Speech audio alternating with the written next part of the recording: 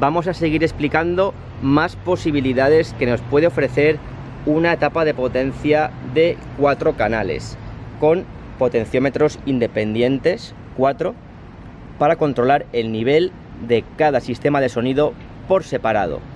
En este caso vamos a simular un espectáculo en el que trabajaremos en mono. En mono significa que todas las cajas van a reproducir exactamente la misma señal. Esto, por ejemplo, lo podemos ver en las maratones, lo hemos visto también en los circuitos de carreras, en los piromusicales, donde se envía la misma señal de la consola a todas las cajas que reproducen lo mismo. En este caso hemos puesto cuatro cajas y cada una de ellas va a estar controlada de manera independiente con un canal de amplificación.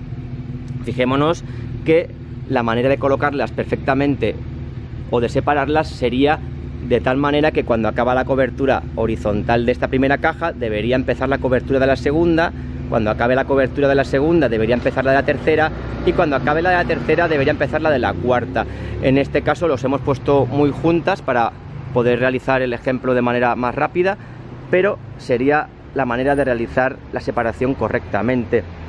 Muy bien, vamos por tanto a explicar los modos de trabajo con los que podemos utilizar esta tapa de potencia para llevar la misma señal a las cuatro cajas de altavoces en mono. Muy bien, pues para ello lo primero que necesitaríamos sería una consola de audio que tuviera una salida monofónica. Por ejemplo, ya lo vimos en otro vídeo con una Yamaha analógica que tenía una salida mono out, que era la señal L más R.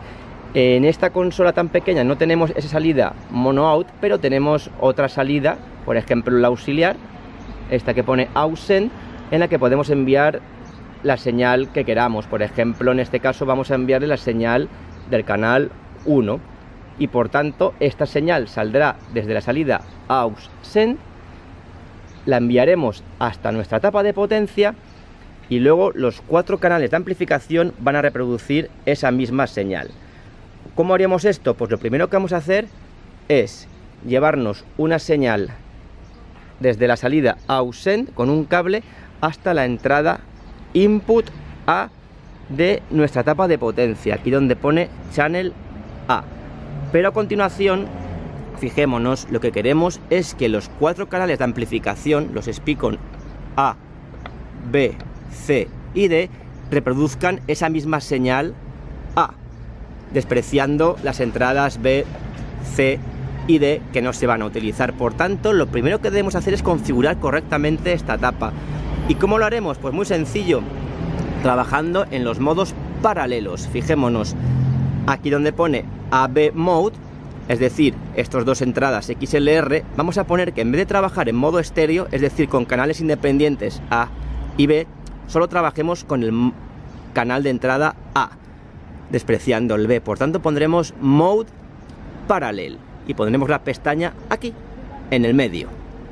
Muy bien, a continuación, también queremos que el canal B y el C estén también en paralelo. ¿Para qué? Para que la señal que llega a B también vaya a C.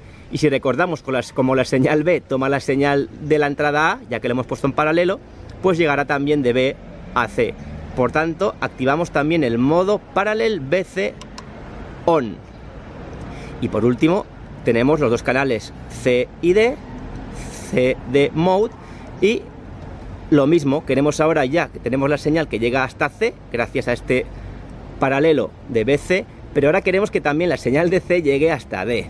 ¿Cómo hacemos eso? Pues poniendo nuevamente el Mode CD en paralelo. Lo ponemos por tanto aquí al medio. Eso quiere decir que la señal que entrará por aquí desde la salida auxiliar de la consola viajará a la entrada B gracias al primer modo paralelo, la señal de B llegará a C gracias a este modo paralelo activado ON y la señal de C llegará a D gracias a este último modo paralelo que también hemos puesto en CD Parallel Mode.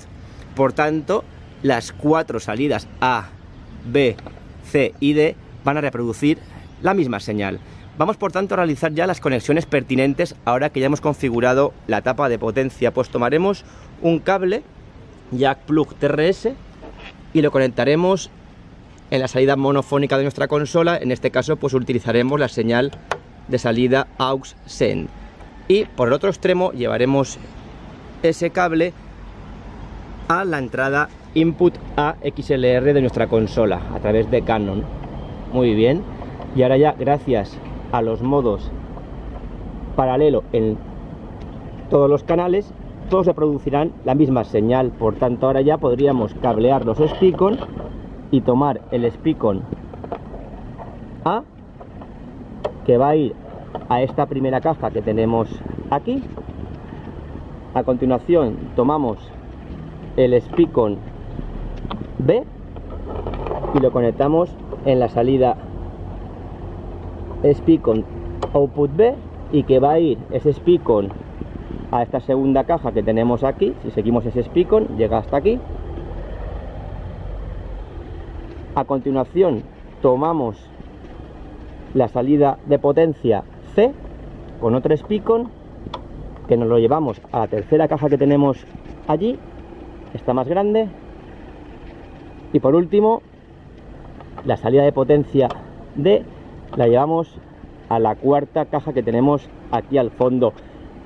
Recordemos que en este caso deberíamos respetar la potencia y la impedancia que entrega la etapa de potencia a cada una de estas cajas y si recordamos pues esta etapa de potencia entrega 350 vatios a 8 ohmios y en principio estas cajas vamos a imaginar que todas son de 8 ohmios y que todas soportan 350 vatios de potencia imaginemos que todas son como este modelo de ese 115 de 350 vatios y 8 ohmios y por tanto reciben la potencia correcta de la tapa. Vamos a imaginar que son todas iguales.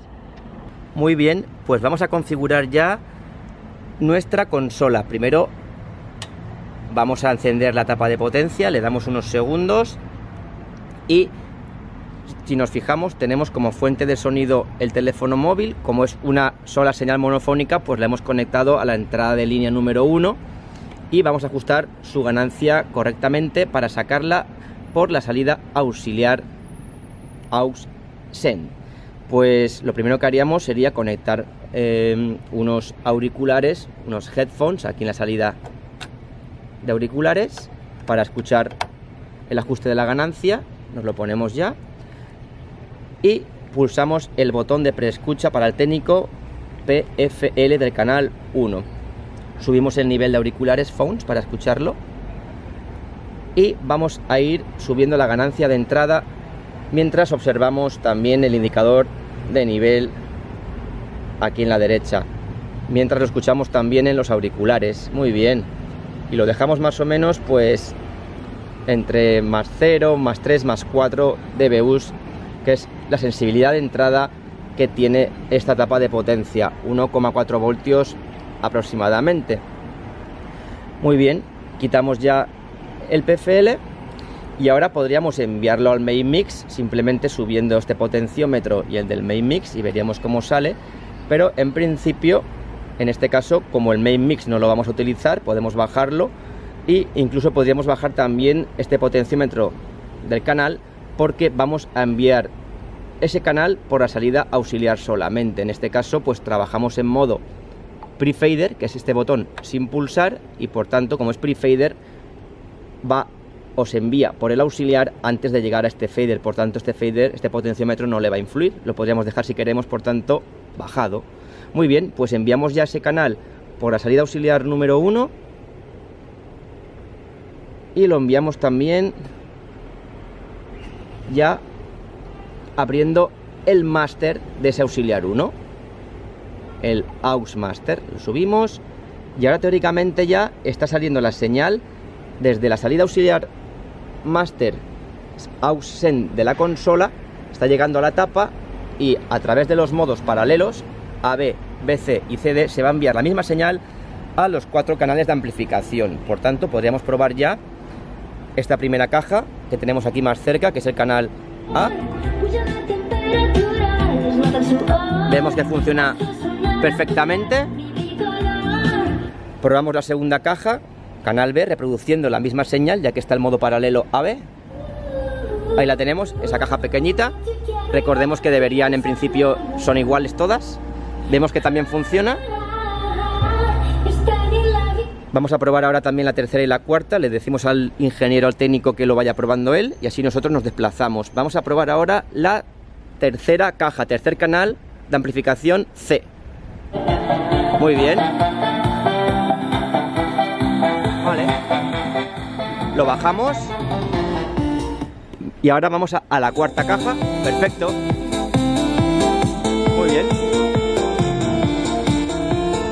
Perfecto. Y ahora vamos a ir probando progresivamente todas. Empezamos solamente con la 1 y iremos añadiendo las siguientes. Solo la 1.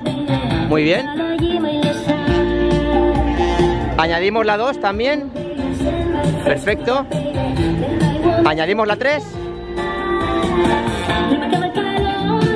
Y añadimos la 4. Perfecto. Ya tenemos las cuatro cajas reproduciendo la misma señal.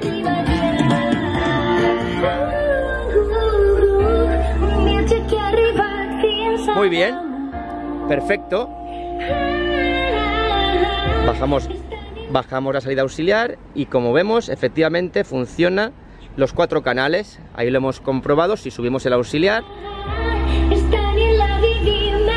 el 1, el 2, el 3 y el 4. A, B, C y D. Funcionan los cuatro cajas.